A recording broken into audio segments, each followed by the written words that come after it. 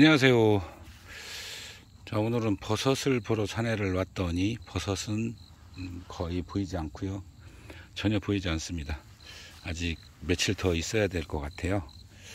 근데 예, 오랜만에 제가 굉장히 큰 잔대를 보고 있습니다. 꽃대가 그러니까 밑에 줄하고 줄기가 지금 몇 개냐면 이렇게 커다란 줄기가 세 개짜리 꽃도 굉장히 이쁘죠? 아, 꽃 진짜 이쁘네요. 아, 이렇게 예쁜 꽃을 하고 지금 이제 위에는 아직 안 폈고요. 어, 이제 필 때가 됐나 봐요. 자, 굉장히 굵은 게 이 안에 들어 있겠죠. 자, 잔대 종류가 많은데 자, 잔대는 우리 초롱꽃과 아, 저쪽에도 있네요. 여기가 좀 있나 보네요. 자, 그 잔대 잔대 속이 뭐 전 세계 한 50여 종. 우리나라도 꽤 종류가 많이 있죠. 그래서 우리 뭐, 뭐 딱주라고도 하고, 뭐 다양한 또 양명으로는 사삼이라고 그러죠. 어, 양명으로는 사삼. 이게 워낙 이제 인체에 이롭기 때문에 지금은 산에서 만나기 정말 힘들어요. 이거를 어, 전문적으로 이게 또 어, 캐시는 분들이 꽤 많이 있더라고요. 그러다 보니까 그 흔한 여기는 해안 쪽이라 굉장히 흔한데 어, 요즘은 정말 만나기 힘듭니다. 예, 그런데 이렇게 굵은 잔대가 아직까지 산에 있네요. 자, 뭐 이거는 요즘 이제 그, 어, 그 뭐죠? 방사능 관련해서 이제 많이 얘기가 나오니까 그래서 이게 아마 그런 쪽에 종사하시는 분들이 아, 이거를 어, 주기적으로 드시는 걸로 알고 있어요. 예, 그 항방사능에 아직 그러니까 방사능에 굉장히 어, 이로운 그 그러니까 이제 그 우리 인체에 미치는 악영향을 어, 막아주는 그런 역할을 한다라고 어, 되어 있습니다. 뿐만 아니라 이 항노와 그다음에 항염, 항 그 항암까지도 이렇게 다양하게 표기가 되어 있죠. 원래는 뭐 진해 거담 이쪽에 그 표시가 많이 돼 있었는데 최근에는 이제 그런 쪽으로 어, 더 많이 부각이 되는 것 같아요. 그러다 보니까 산에 자연산도 남원하지 않습니다. 뿐만 아니라 재배산도 어, 굉장히 잘 팔리는 걸로 어, 알고 있는데요. 이거를 재배 농가도 많이 늘었을 거예요. 이건 도라지하고 씨가 좀 다르죠. 이건 더 가늘어서 구분이 안 될 정도로 먼지처럼 아주 가늘은데 아, 또 체종을 해서 어, 많이 심은 데를 제가 보기도 했어요. 그 이쪽 해안 쪽은 어, 이 이게 이제 종, 저도 지금 이름을 까먹었어요. 어, 제가 이제 그 해시태그로 해서 달아놓을게요.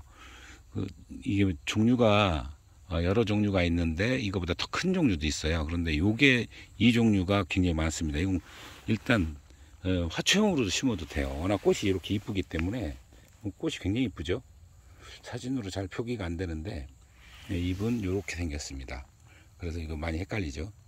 예, 그리고 이 종자가 이 종류가 굉장히 많아요. 자, 뭐 용법 이런 거는 뭐 워낙 자세히 나와 있기 때문에 제가 별도로 따로 말씀을 안 드려도 될 것 같고요. 단지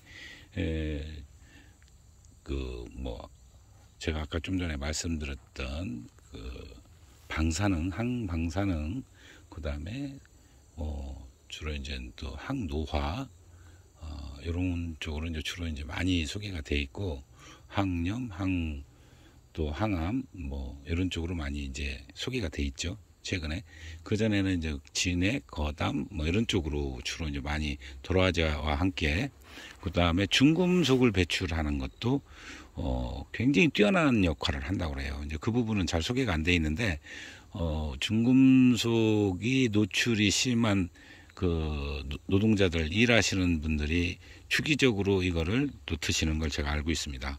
그래서 그만큼 우리 인체에 굉장히 이롭다 노폐물을 제거하고 이런 데는 아주 탁월한 효과를 가지고 있는 것이 바로 이 잔대다 이렇게 말씀드려도 어, 과언이 아닐 것이다. 저 이렇게 말씀을 드립니다.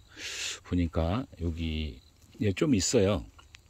여기 뭐 산부초꽃도 좀 있고 아, 저쪽에도 보니까 어, 꽃 보이시죠? 저기 이렇게 여기 좀 보이죠? 네, 여기도 있습니다. 근데 이제 보통 저런 정도 크기인데 여기처럼 이렇게 큰 거 보기는 쉽지 않거든요. 이렇게 여러 구짜리가 나온 거는 네, 요즘은 보기 힘들어. 전에는 뭐 흔했죠. 뭐 이런 정도 되는 경우는 아주 흔하게 만났었습니다. 근데 오늘은 또 뭐 이렇게 모처럼 어, 옛날로 계산하면 크지 않지만 요즘은 큰 거죠. 예, 이런 걸 또 만나게 돼서 여러분께 소개를 해드렸습니다. 주변에 보니까 아, 이 취나물 꽃도 좀 폈고요. 어, 이제 가을에 피는 꽃들이 산에서 볼 수가 있네요. 버섯은 안 보이고 이런 게 보입니다. 자, 또 어, 유익한 식물이 있거나 유익한 또 버섯 또 우리가 꼭 반드시 알아야 될 조심해야 될거 이런 것들 위주로 보여드리도록 하겠습니다. 항상 건강하십시오. 감사합니다.